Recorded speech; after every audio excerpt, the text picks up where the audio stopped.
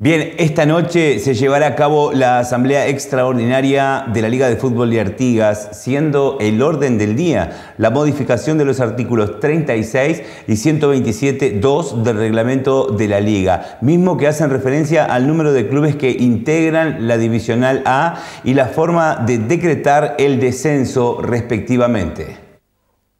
Sí, efectivamente esta noche se va a realizar la asamblea extraordinaria convocada por los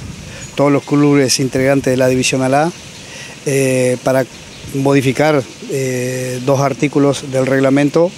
de la liga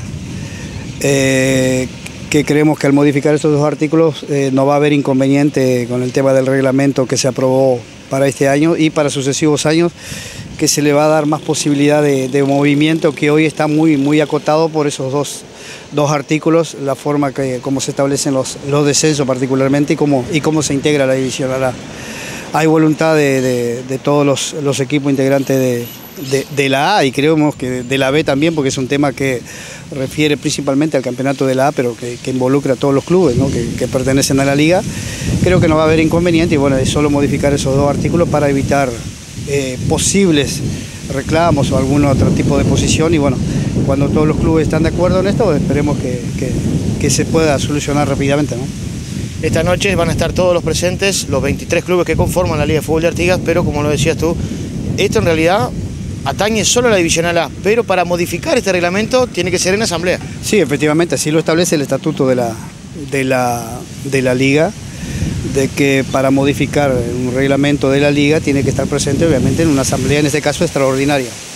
Entonces entendemos de que bueno, se va a dar esta asamblea, van a concurrir los clubes y bueno, y se va a votar y creemos que, favorablemente porque en definitiva tiene que ver con la organización de los campeonatos, en este caso del campeonato de la División A, que como dijimos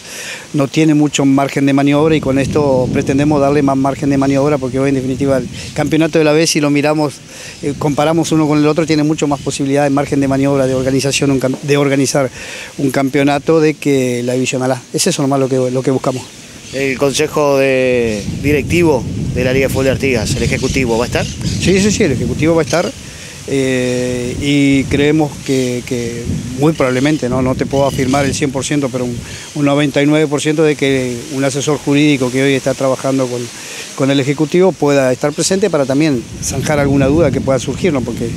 es evidente que pueden haber consultas y todo tipo, que mejor que un, un asesor jurídico para, para para eh, establecer esa, o mejor dicho, para sanear en este caso alguna duda que pueda haber. Cambiando un poquito el tema, pero no saliendo a la Divisional A, eh, hace mucho ruido ahora un reclamo de Wanderers de la primera fecha que todavía no se dio a conocer el resultado. ¿Cómo viene? ¿Hay alguna novedad sobre el tema? Sí, en este caso el,